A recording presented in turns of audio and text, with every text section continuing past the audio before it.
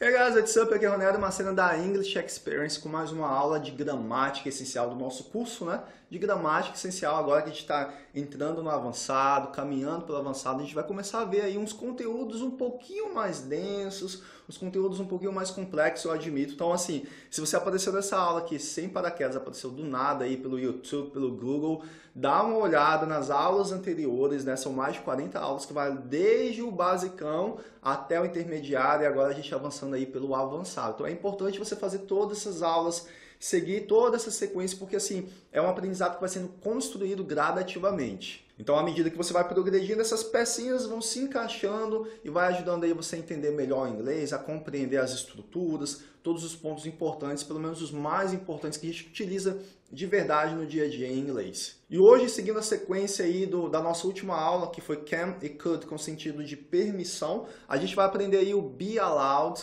também com esse sentido de permissão. Né? Eu vou explicar um pouquinho para você qual é a diferença de um para o outro e como que a gente utiliza, qual é a estrutura gramatical para a gente utilizar o be allowed, seja em frases afirmativas, interrogativas ou negativas. E lógico, como sempre, aqui nessa aula você vai ter PDF, MP3 para você poder baixar, fixar esse conteúdo. A gente vai ter exercício interativo aqui durante a aula para você poder ter certeza que você está aprendendo, tirar suas dúvidas, né? Na medida que você para alguns segundos para poder responder e depois eu te dou a resposta, eu faço você raciocinar, analisar a frase, você consegue compreender o idioma, consegue entender melhor como que funciona toda essa estrutura do inglês. Mas antes, aquele ritual básico, né? Então, se você não está inscrito no canal, se inscreva no canal, já deixe seu joinha aqui no vídeo e coloque nos comentários qual tipo de conteúdo você ainda tem dúvida, qual, qual assunto você ainda não domina suficiente, que aí eu vou preparar uma aula super, super legal, super bacana para poder ajudar vocês. Tô contando com vocês, hein?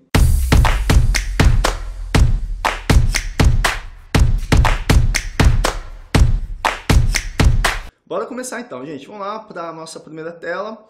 Eu trouxe aqui essa frase para poder contextualizar e aqui está falando, ó.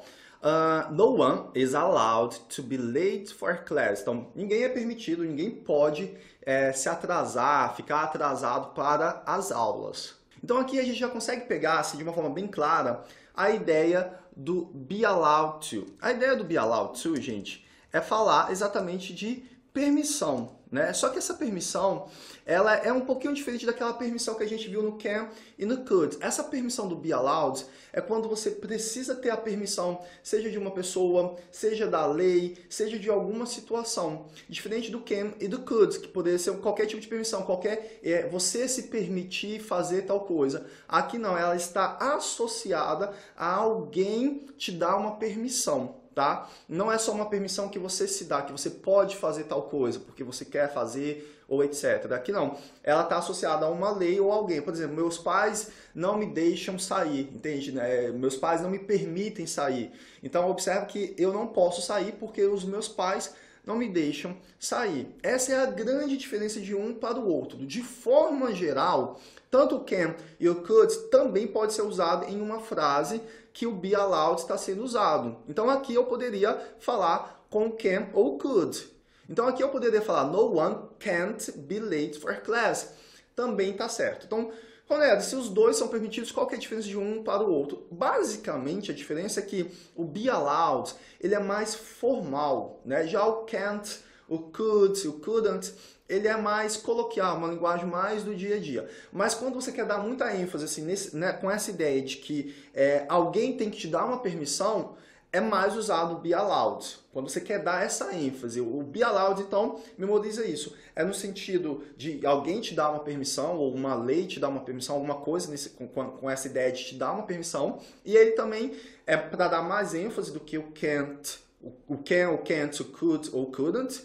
Uh, e ele também tem esse, é, é, ele passa essa sensação de ser mais formal. Ele é um pouquinho mais formal do que o can't, uh, do que o can't, principalmente o couldn't nem tanto, né? O couldn't também já é formal e aí ele é mais usado no sentido do passado, né? Mas comparando o can't, can, can't com be allowed seria basicamente essas as diferenças. Mas aí você me pergunta, mas Ronaldo, como que eu utilizo isso numa frase? Como é que fica essa estrutura na frase? Vamos dar uma olhadinha aqui que eu já trouxe essa tabelinha para você. Vamos olhar aqui no presente, ó. No one is allowed to be late. Rude students aren't allowed to stay. Ah, e uma informação importante, gente, né? A gente sabe que o, a gente sabe que o can ele é usado para o presente, certo? O could, ele é usado para o passado. E aí, aqui, se vocês observarem, o be allowed eu posso usar tanto no presente, tanto no passado, quanto no futuro. Essa também é uma particularidade do be allowed. Eu não tenho isso com can e could. Ou é presente ou é passado, um ou outro, e no futuro eu não tenho. Então, quando eu quero falar de futuro, eu vou usar o be allowed. Uma informação importante para você poder pegar a diferença de um para o outro. Então, o que eu quero que você observe aqui nessas frases, ó, no one is allowed to be late. Então, ninguém é permitido, ninguém pode se atrasar. Uh, a estrutura é o seguinte, é pessoa mais o verbo to be, Aqui eu estou falando de presente, né? Então, é o verbo to be. A gente sabe que é o ele conjugado é o am, o is ou o are, certo?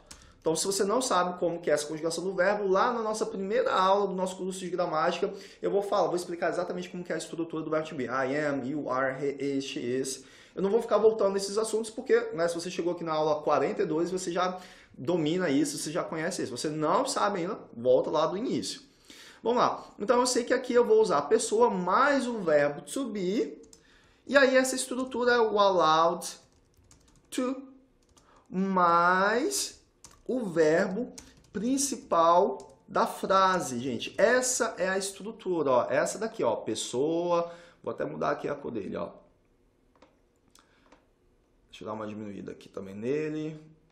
Pera aí, gente. Olha lá. Pessoa verbo to be, conjugado, am, is ou are, mais o allowed to, mais o verbo principal na frase. Então, vamos dar uma olhada aqui. Ó. No one, então ele faz o papel de pessoa, ninguém. O verbo to be conjugado, que no caso aqui é o is, porque no one ninguém seria ele ou ela. He is. Depois eu tenho o allowed to, que é a nossa estrutura básica. Depois eu tenho o be, porque o be é o nosso verbo principal. Ninguém pode estar atrasado, ficar atrasado, a gente pode fazer uma tradução mais natural, né? E depois, se precisar, algum complemento. Vamos, vamos ver mais um, uma situação parecida com essa aqui, ó. Ó, I am allowed to live now. Então, ó, eu, eu estou permitido, eu posso sair agora. Então, talvez eu estou lá na portaria da escola, o porteiro me barrou, e aí eu quero falar que eu posso sair agora, eu estou permitido, eu estou autorizado a sair agora. Ou seja, porque alguém, o coordenador, o professor, o diretor, alguém me permitiu sair. Tá vendo? Que está associado a alguém ter me dado essa permissão. Então, qual é a estrutura aqui? Ó? Eu, I, verbo to be conjugado com a pessoa, que no caso eu estou falando eu, é o am. Depois eu tenho o allow to, que é a nossa estrutura que a gente está aprendendo. E depois eu tenho o verbo principal na frase. Qual é o verbo principal na frase? Live, que é sair e ir embora nessa situação, né? Então, observa a estrutura. Se você entender a estrutura, como ela é construída, gente, não tem, não tem mistério, não tem dificuldade. É muito simples. I am allowed to live now. E é o mesmo a gente tem aqui no, na, na próxima frase. Ó. Rude students aren't allowed to stay. Então, estudantes ignorantes, rudes, né, não são permitidos ficarem. Mais uma vez eu tenho o, a pessoa que é o rude students, que seria eles ou elas, né? Eu, eu posso fazer essa, essa transformação, digamos assim. Depois eu tenho o verbo to be, que no caso eu estou falando que não é. Então, se não é, a forma negativa é só eu pegar o verbo to be e fazer ele negativo. E aí depois eu tenho o allowed to, que é a minha estrutura básica, e depois o stay, que é o meu verbo principal. Observa a estrutura. Então, o que eu quero chamar a sua atenção aqui nessa segunda frase é que se eu quiser fazer uma frase negativa, então é basicamente eu colocar o not, eu fazer ele, né, colocar o not, eu fazer ele de forma contraída. Vamos pegar esse exemplo que eu acabei de fazer aqui, ó. I am allowed to. Eu estou autorizado, eu estou permitido a sair agora. Se eu quisesse fazer isso que eu não estou, é só eu falar I am not. Coloquei o not. Aquela mesma regrinha de você fazer é, frases negativas com verbo to be. Só colocar o not. Se eu quisesse falar que ela não está autorizada a sair agora, she is not, ou se eu quiser fazer contraído, she isn't allowed to live now. Ok? Então a estrutura é a mesma. Show! Vamos partir para o passado e você vai ver que não vai mudar nada. Aliás, vai mudar uma coisinha só. Observe que agora o que, que mudou? Eu vou usar o verbo... Opa, deixa eu aparecer o mouse aqui. Eu vou usar o verbo, então, to be, só que agora no passado. Aqui eu não estou falando I am, agora eu vou colocar o verbo to be no passado. I was. Então, o que vai mudar aqui nessa estrutura, gente, é o verbo to be. Tá vendo que aqui ó, é be allowed to. Então, a base do tempo verbal é o be. Então é o be que eu vou conjugar, tanto no passado, quanto no presente ou no futuro. O allowed to, ele fica nessa estrutura basicona aí. Vai ser allowed to, independente da pessoa, independente do tempo verbal, passado, presente ou futuro. Então o que vai mudar é o be. Então se eu estou querendo falar que eu era permitido, eu era autorizado, eu vou falar I was allowed to live. Eu era autorizado a sair, né? Estou falando lá do passado. Uh, ou eu fui autorizado, também poderia ser com essa ideia. Então, ó, I was allowed to take extra lessons. Eu fui autorizado a ter aulas extras, né? Aí aqui, I wasn't, já na forma negativa, mais uma vez, é só eu pegar o verbo to be, né? Was not, eu vou fazer ele contraído, o wasn't. Então, vamos imaginar aqui que eu estou falando eles. Eles eram ou eles foram autorizados, aí eu tenho que colocar o verbo to be conjugado com they. No passado, como é que fica? Were. They were allowed to live. Eles foram autorizados, né? Uh, então, observa, mais uma vez, eu tenho aqui, ó, pessoa, eu tenho o verbo to be conjugado com essa pessoa, deixa eu mudar as cores para vocês verem aqui. Eu tenho o allowed to, que é a minha estrutura básica, e aí eu tenho o verbo principal da frase conjugado é, na sua forma básica, né? To, até por causa do to, ele fica no infinitivo, na verdade. To live. Tá? Então, essa é a estrutura para o passado. Se você for olhar o futuro, mais uma vez, eu tenho aí essa situação de que eu vou pegar o verbo to be e vou colocar o verbo to be no futuro. Então, ó, next year, ano que vem, I'll be allowed to join the Cirque on Tour. Então aqui, observa o seguinte, se eu tenho o be e eu quero falar aí no futuro, então basta eu colocar o will. I will be allowed to live. Eu estarei, eu serei autorizado a sair, usando aquele exemplo que eu trouxe logo lá no início. Então aqui eu coloquei o meu verbo modal will para sinalizar que é futuro. E a gente sabe, quando a gente utiliza o eu, aqui a gente já teve a aula do eu, se você não viu essa aula, volta lá e procura aqui na, na, nas aulas de gramática, seja no básico, no intermediário. E aí você vai ver que esse will, é, quando eu coloco ele na frase, o verbo que vem depois dele fica na forma básica. Então o be, ele não é mais conjugado, ele fica normalzinho aí. Aí vai ser a mesma coisa para todo mundo. Ó. You will be. She will be they will be. Vocês percebem agora por que, que eu falo assim, quando a gente vai chegando no avançado, é, não é nem que o conteúdo ele é difícil, mas como agora a gente vai juntar tudo que a gente já viu, passado, presente, futuro, verbo modal, afirmação, interrogação, negação, contração, tudo, aí parece que é mais difícil. Então por isso que eu falo assim, cara, você precisa ter uma base muito sólida do inglês, porque assim, verbo to be é uma coisa que, olha, a gente está indo para o avançado, a gente está vendo o verbo to be de novo. Se você não aprender verbo to be, se você não aprender presente simples, se você não aprender a construir frases com o eu, chega aqui agora, trava tudo. Mas não é porque esse conteúdo é difícil, é porque lá atrás você não aprendeu de forma satisfatória, de forma sólida mesmo. Aí agora você vai ter dificuldade se você não realmente fez todo o nosso curso de gramática essencial aqui. Mas acreditando que o senhor e a senhorita fizeram, bora continuar, tá? Se você não fez, volta que as aulas estão todas aí liberadas para vocês gratuitamente. Então aqui, gente, aí obviamente, né, eu vou falar isso contraído. É muito mais, mais bonitinho falar I'll be, you'll be, enfim. Então essa é a forma contraída. O que eu quero chamar sua atenção mais uma vez é para a estrutura. Pessoa mais o will mais o be, aí o be vai estar com todo mundo aí, não vai sofrer alteração. O allowed to também vai sofrer, não vai sofrer alteração, vai ser o mesmo para todo mundo. E aí eu vou ter o verbo principal na frase. Vamos pegar mais um exemplo aqui, ó. Uh, you will be allowed to do the test again. Você vai ser autorizado, você vai ser permitido a fazer a prova de novo.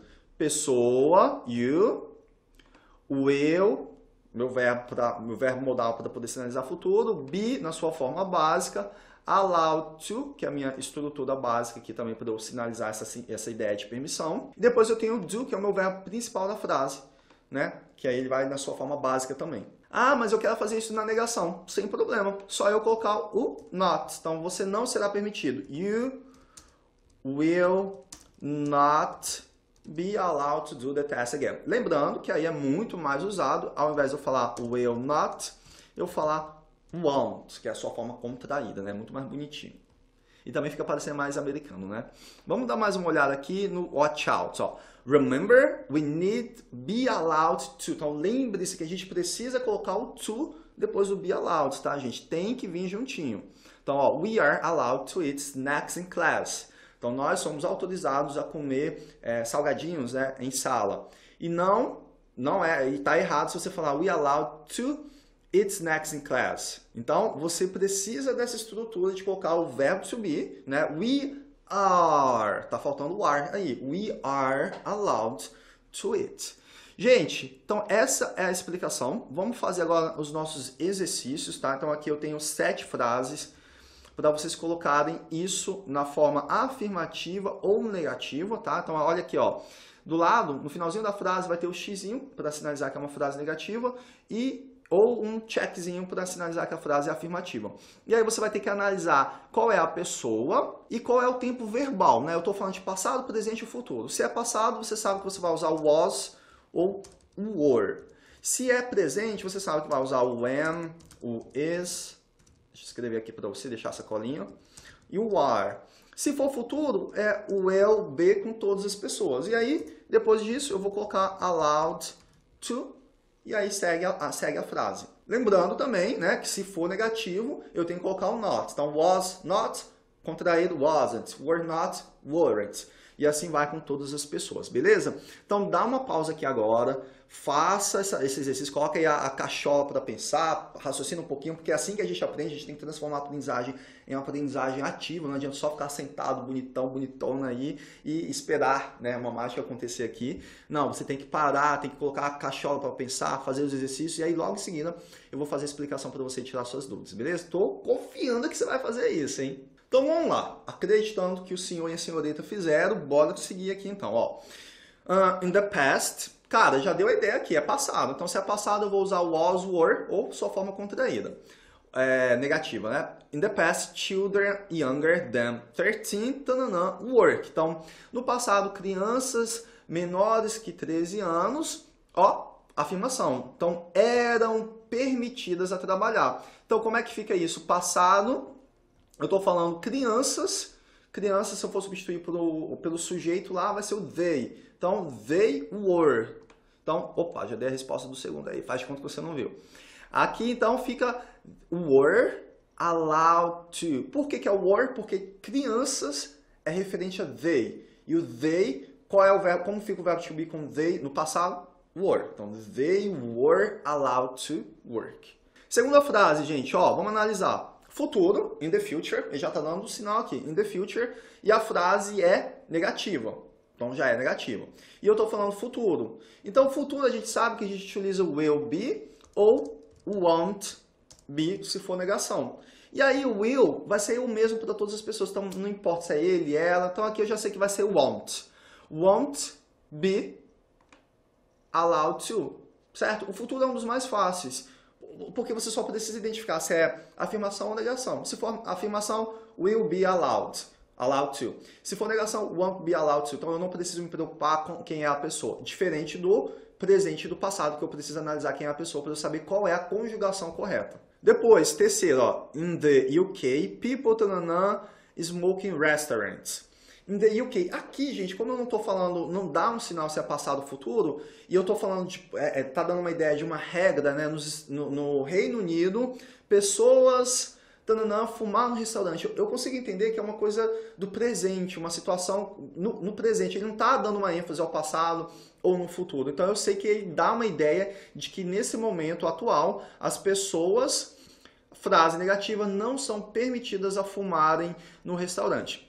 Então, beleza, eu sei que é presente e eu sei que a frase é negativa. Agora eu preciso saber quem é o sujeito da frase. Então, eu estou falando no Reino Unido, pessoas, tananã, fumar no restaurante. Então, eu estou falando que as pessoas são permitidas ou não são permitidas. Então, o sujeito da frase é pessoas e o sujeito referente a pessoas, o, o, o pronome lá é o they. Então, pessoas, they, que eu posso substituir por they. E aí, qual, como fica o verbo to be com they?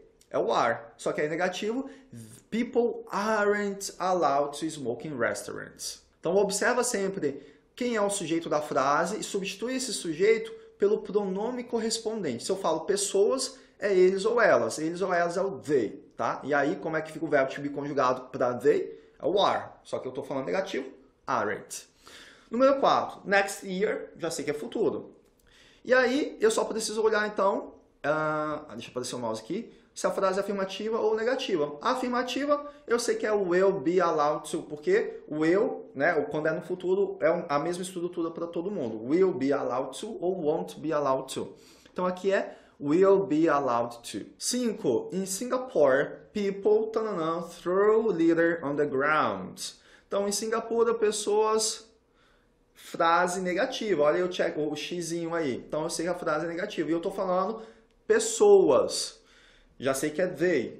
Aí você precisa analisar se a frase é passado, presente e futuro. Não tem estrutura de futuro, não tem nada aí sinalizando que é no futuro, nem nada sinalizando que é passado. Então eu sei que é presente, é uma regra que está acontecendo ali agora. Então pessoas não são permitidas. Então é o aren't allowed to. Depois, number six. Lisa tananã watch TV for one hour every day. Beleza, frase afirmativa precisa analisar se é passado, presente ou futuro. Watch TV for one hour every day. Todas as vezes que eu tenho essa estrutura every day, every month, every year, eu estou falando de, de uma coisa que acontece no presente, uma situação é, corriqueira, uma coisa que acontece sempre no presente. Então, é presente. Aí eu só preciso identificar então quem é a pessoa. Lisa é referente a she, o verbo to be conjugado para o she é o is. Então, Lisa is allowed to. Depois, seven. Next summer, next summer é futuro, né? No próximo verão, I tanana, go to Europe on my own. Frases, essa frase está no futuro e eu só preciso ver se é afirmativa ou negativa. Checkzinho, afirmativo, então eu vou usar o will be allowed to. Gente, então é isso, é uma aula simples, né, mas que uh, a gente precisa ficar atento pela estrutura, né, não é complexa, não é difícil mas acaba que esse Bialaudes ele não é muito ensinado nas escolas, né? Eu vejo que não é muito ensinado, não é muito transmitido e é, eu achei importante trazer ele até para a gente fazer um contraponto com o can e o could e principalmente para a gente poder ver ele no futuro, né? Que a gente às vezes fala tanto do presente e a gente não fala do, do futuro e, e, também não fala muito do passado. Então é uma estrutura legal para poder você prestar atenção. Bem, eu espero que você tenha gostado. Tem PDF, MP3 para você poder baixar. Se você ficar na dúvida, assiste a aula de novo, faz as atividades do PDF. Lá tem chave de correção, tem um MP3 para você poder trabalhar o seu listening, melhorar também. E coloque aqui nos comentários o que, você achou da aula. Tá legal a aula? O que, que, que você está achando desse retorno aí do nosso curso de avançado? O que você está achando disso daí? Tá bom? Tô contando com vocês, gente. That's it. See you. Bye, bye.